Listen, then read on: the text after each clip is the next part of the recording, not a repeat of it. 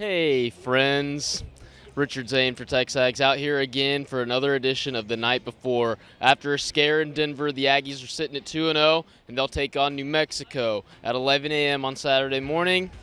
But before that, let's get the vibes around Northgate. Let's see how the Aggies are feeling before they take on the Lobos. How stressed out were we by the Colorado game?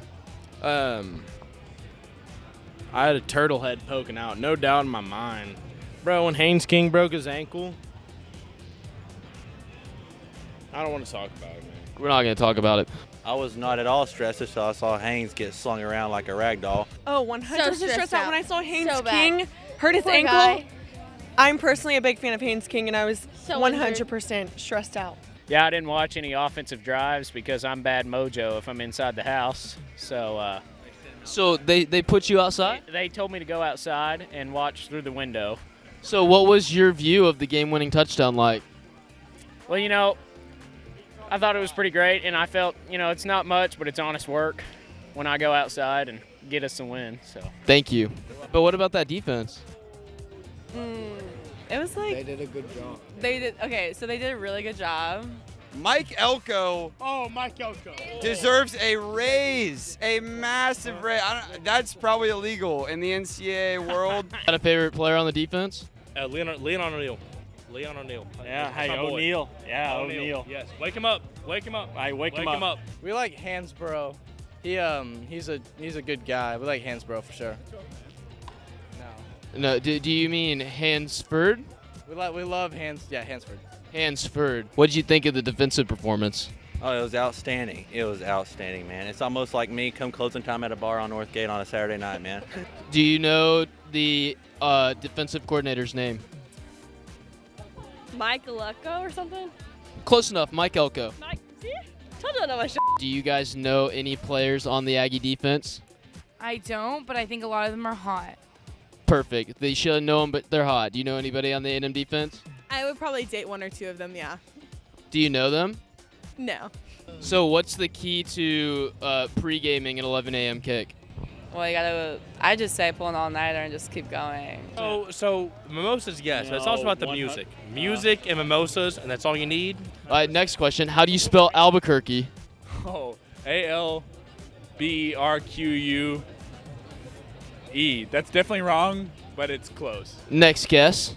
My granddad's from there. Ernie Wright's from Albuquerque. It's A L B E R Q U E.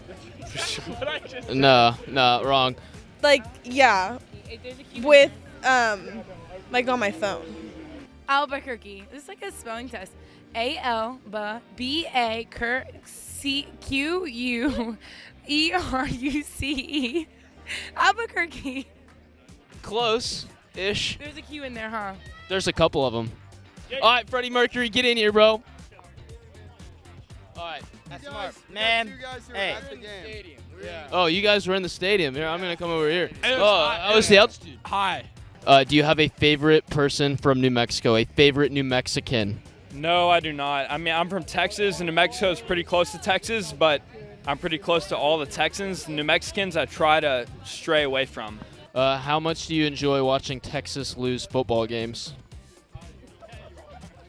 More than anything in the world. More- Texas is not back, baby. Anything. Besides God.